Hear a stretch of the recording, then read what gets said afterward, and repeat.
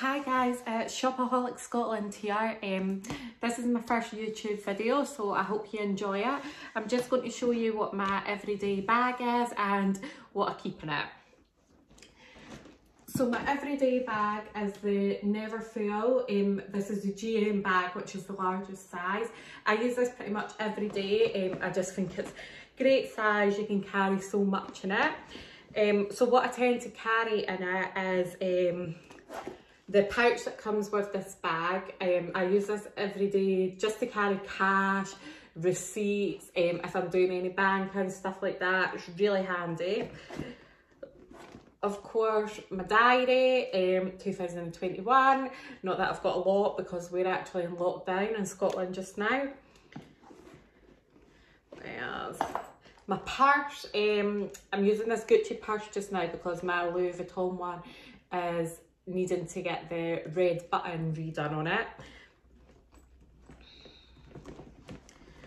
Also, glasses case, um, as you can see I wear glasses, these are Hugo Boss, so just to clean them and stuff.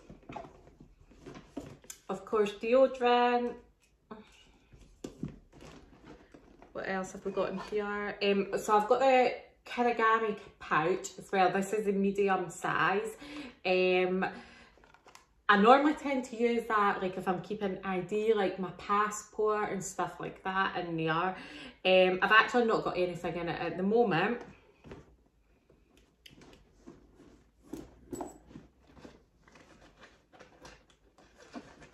Some lipstick, which is a matte colour bombshell. It's a really nice bright pink. Of course, I've got my mobile phone, which is an iPhone, couldn't live without that. Also, um, for my Christmas, my mum actually got me a um, organiser for this bag that you can sort of see there. And I think it really keeps the shape in it. As you can see, stops it from sagging. So I was really pleased with that. Um, I'll get it out and I'll show you. Two seconds.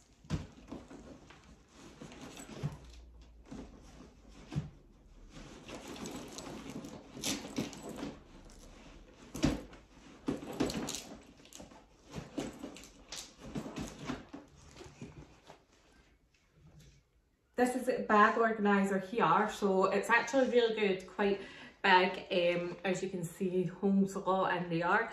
It's got four pockets on each side, a zippy pocket, pocket which actually has four compartments as well. Um, and it's actually got this big compartment here, which is empty. So it's really good. I'm really pleased. It's also got pockets on this side here. Um, so I love it. I think it's really good for um, keeping the shape on the bag. So I would definitely recommend getting one. Um, this was from a place called Jenny Crafts. So really good. Check it out. Thank you.